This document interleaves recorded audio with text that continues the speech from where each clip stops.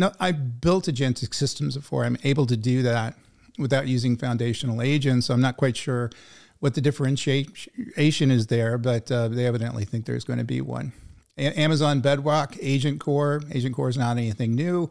Production ready agent platform and Agent Core added policy preview for natural language guardrails on agent actions. Might be a concern there. What were you using before? In other words, you should never uh, release an, an, a, uh, an AI agent without uh, heavy governance around them. I guess they're doing governance within the code sets. And so I always assumed that uh, Agent Core had some governance that was associated with it. Evidently not, because they're releasing, you know, kind of the first uh, first editions of that now, or basically able to make it more formalized. It's probably a better way to put it. I'm sure they had some sort of governance systems in there, but it was a bit more custom than some of the policy stuff that's in there.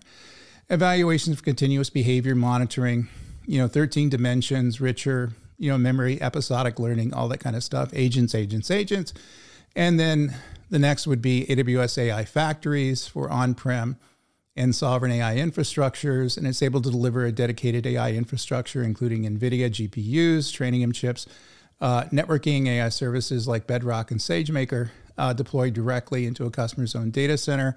So this would be, you know, doing this stuff on prem, which would be interesting. And I think what's happening now is that uh, AWS is feeling the pressure that they're going to have to be a bit more flexible in how they run on different customer environments. In many cases, customers are going to want to run stuff in their own data centers, uh, you know, private cloud instances of AWS, things like that.